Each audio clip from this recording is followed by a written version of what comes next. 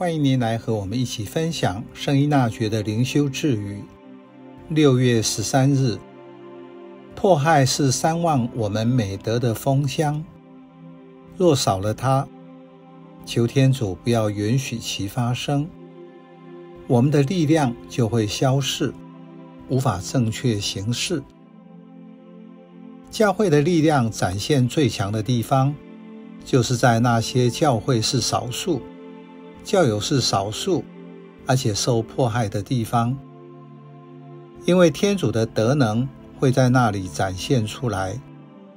教会能够存在逆境之中，表示教会是靠天主，不是靠有多少教友、资产、权势。在耶稣的宣讲中说：“几十人为了我而辱骂迫害你们，捏造一切坏话毁谤你们，是信仰他、跟随他会真实发生的事。”电影《沉默》探讨日本幕府时代教友为了信仰而受迫害的意义。他们在接受苦难。和保护更多教友免于受难中挣扎，各种牺牲展现的美德令人感动。生命有更深的意义，在自我给予中见证永恒的价值。在迫害中，教会仍然以某一种形式存在。这些受迫害者展现出生命力，彰显出。天主比教会还要大。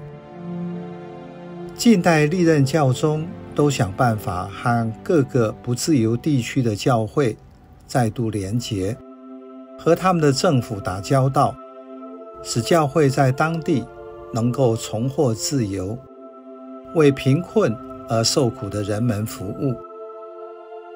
历史的教训告诉我们，任何一个地方教会。和普世教会脱离太久，就没有办法和大公教会共荣。电影《沉默》中，那些受迫害教友的后代子孙，现在他们已经失去活在不知其所以然的一种形式信仰中，失去和普世教会的共荣。中途之长博多禄职务最重要的。就是保持信仰团体的合一，这是许多人看不到的一点。许多时候，针对教宗的评断都是片段或局部的，因为批评者并没有理解圣经和完整的教会观。耶稣告诉伯多禄：“我已为你祈求了，为叫你的信德不致丧失。